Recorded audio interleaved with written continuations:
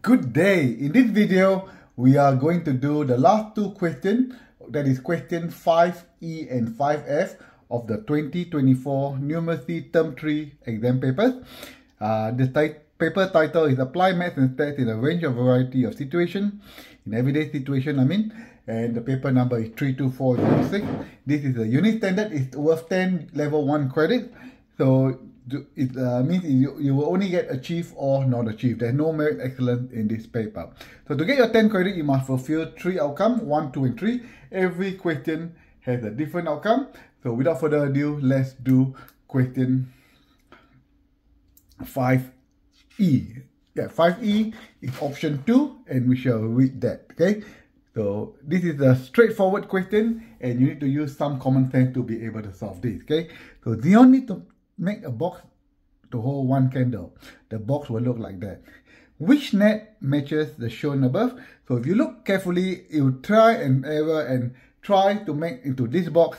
The answer is look at part one, okay? So you look at part one again and try to fold it up and you can see that that will make exactly that shape. So we will not go into detail because this is more a common sense type of question. Now we shall do four 5F, which is more calculation, and that is option number three. Okay, so calculation number, so we shall read this question. So, this is the market day special for scented candles. Okay, they were selling scented candles at $6 each. You buy three and get 30% off.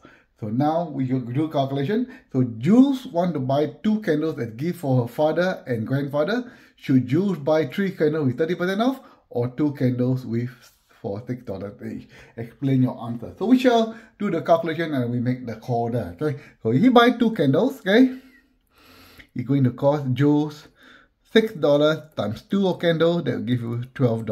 Okay, so you remember that number. If you buy three candles, you get a 30% off. So three candles, original price is $6 times three will be $18. But you get 30% off.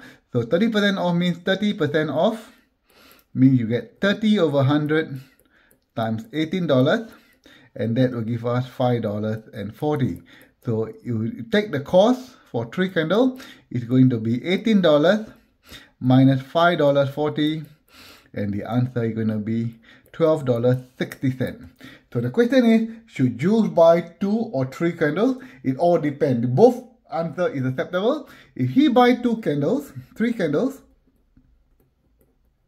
then the third candle will only cost another 60 cents because two candles cost $12 the third candle will cost 60 cents so I, I would go for that okay? So I would actually say that I will agree that you should buy three candles. On the other hand if you buy two candles okay you only pay $12 while if you buy three candles it's $12.60 $12 is cheaper than $12.60 so you can argue the case that you should buy two candles. So both argument is alright. So make sure you know how to argue your case. And hopefully you have gone through all the questions from 1A to 5F and get as many of outcome 1, 2, 3 and see whether you can get a credit in this paper. Cheers everyone and have a great day.